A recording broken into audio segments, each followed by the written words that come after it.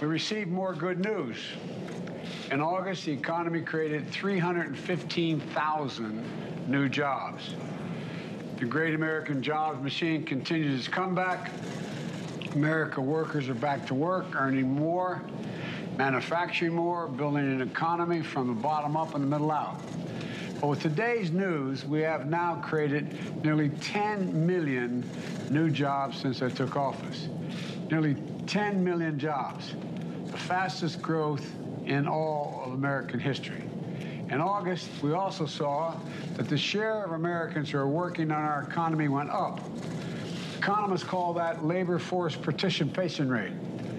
Working age women are now, for the first time, back at work at rates not seen since before the pandemic.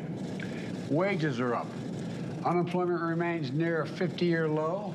And yesterday, we got that we uh, got data that showed that manufacturing orders were up, but cost increases in supply chain items were beginning to ease.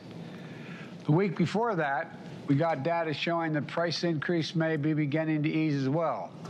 The bottom line is jobs are up, wages are up, people are back to work, and we're seeing some signs that inflation may be, maybe, I'm not overpromising, may be beginning to ease.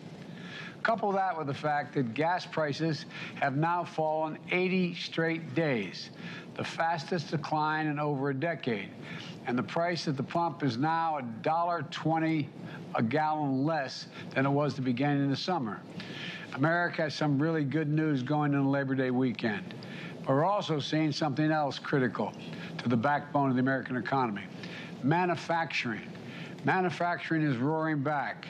Since I took office, the economy has created 668,000 manufacturing jobs, the strongest manufacturing recovery since the 1950s. And just last week, we've seen major American companies from First Solar to Corning to Micron announce plans to invest tens of billions of dollars, tens of billions, that's not a misstatement, tens of billions of dollars expanding manufacturing in America. We've seen major global companies like Toyota and Honda announce that they're choosing America to invest and build. None of this is happening by accident.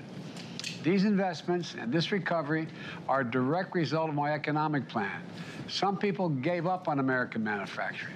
Not me, not the secretary, not the American people.